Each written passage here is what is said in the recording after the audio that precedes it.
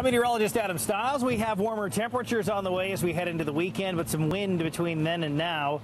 It was down across the U.S. South today that uh, snow wreaking a bit of havoc for some of those folks. It's now into North Carolina and Virginia, but uh, they don't typically get that much snow down there, and they really certainly don't know how to drive with it. Uh, as far as the conditions around here, just a little bit of flurry activity around portions of eastern Ontario, a little bit of lake snow outside of that, we're in pretty good shape. Temperatures are at minus 7 now in Toronto, feeling like minus 16. That'll be the story into the morning tomorrow, heading up to a high of minus 2 as some of that warmer weather that's out toward Winnipeg starts to set up. So minus 8 is how we start off the morning hours. It'll be partly cloudy, increasing cloud cover as we head up through midday, and that wind's going to start to pick up as well.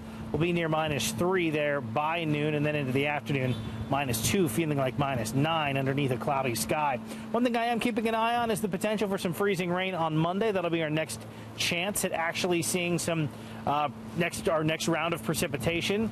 It's early indications here at this point. A lot can change between then and now, but we could see some tricky travel on Monday, and that's what I have in the forecast when we start talking about the seven-day outlook. But we are going to be mild between then and now. Temperatures are going to be near plus two there on Friday, a high of six degrees on Saturday. Sunday, we're looking at temperatures that are going to be near the plus five mark. Nice weekend, some sunshine expected. It is just going to be a little on the breezy, uh, breezy side, especially on Saturday.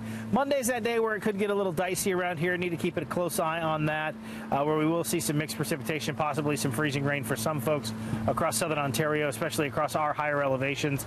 And then as we get into Tuesday on the backside of that system, we'll see a few flurries. So uh, again, it's a little early indication uh, that we could get into some tricky weather there for Monday, and then things cooling back down on Wednesday of next week.